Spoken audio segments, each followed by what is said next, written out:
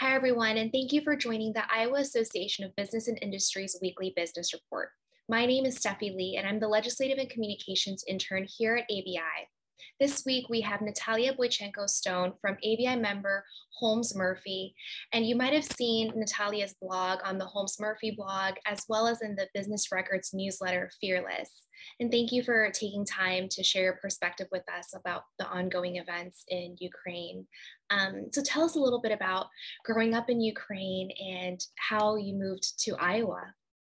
Steffi, I grew up um, in Ukraine in Korsun-Shevchenkivsky, which is Cherkasy Oblast or Cherkasy region. Uh, Cherkasy, I bring it up just because it's a sister state to Des Moines. Um, so we have a lot of close relationship to the area.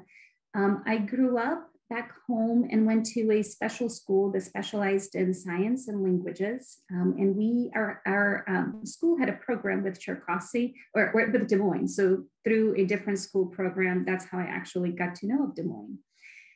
And when I was in the ninth grade, I believe, I came to Rockwell City Lytton um, High School for a month and a half exchange program. So that was my first exposure into the United States and also just the school system and understanding what it may look like um, here in the States.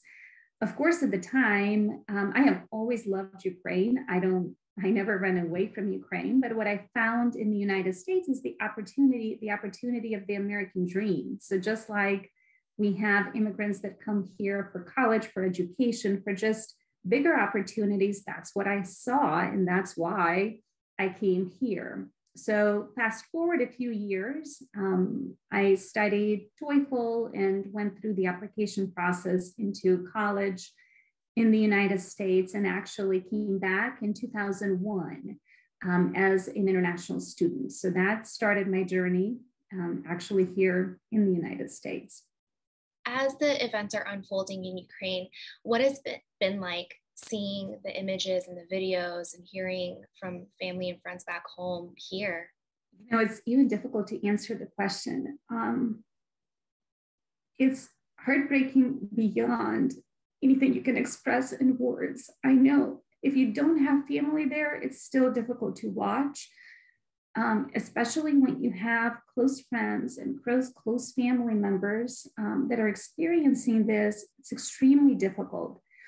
Um, you know, even my friends from school yesterday, they were taking their kids to the park and going for walks, and they were they had jobs and they had future. Today marks a month of this war, but overnight they are now not going for walks. They're actually in bombing shelters, and they don't know what the future may look like. It's it's extremely heartbreaking. It's extremely difficult to watch. Um, and also seeing places you've known and places you love being destroyed for no reason at all. Not that there could have been a good reason for something like this, but there is no reason whatsoever. Um, it's just heartbreaking beyond belief. And what is it like seeing the support and the outpouring of community from the Iowa business community? Iowa business community has been fantastic. I can't, um, I actually have a list of different businesses and contacts that have reached out and asked for ways that they could be involved or the ways they could help and what they can do to be somehow engaged and what what they could be doing. Some businesses have reached out just saying here's what we are doing and here's what our plan of action is. And that's been so wonderful to see. Um, i am, and actually just this morning I spoke to Sister States um, organization, and we are working through what their fundraising efforts look like. Um, I know that um, we have um, other things that are being planned out for April for concerts and other fundraiser events that are coming up.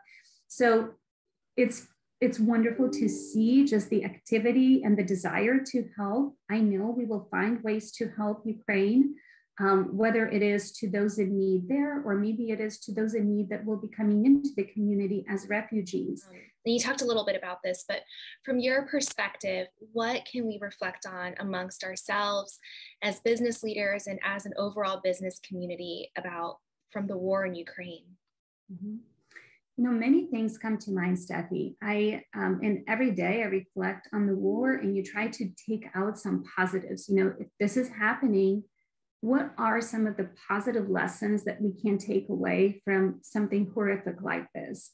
Um, you know, and, and one of the things is obviously Ukraine has become a unifying, a unifying country for all of us. So all other countries of the world are watching Ukraine to stand up to a bully and really bring all of us together to help themselves, but also to think about life and why we're here in a little different light.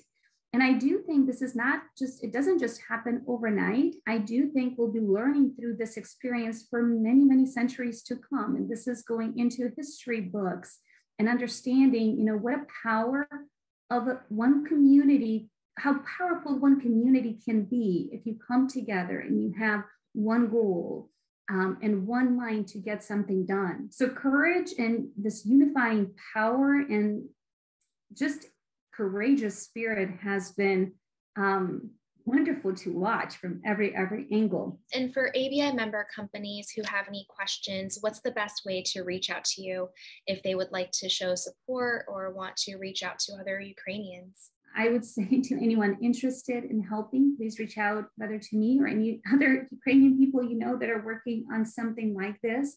There are many, many ways you can be helpful.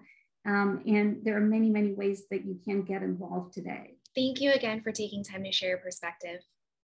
Thank you, Steffi.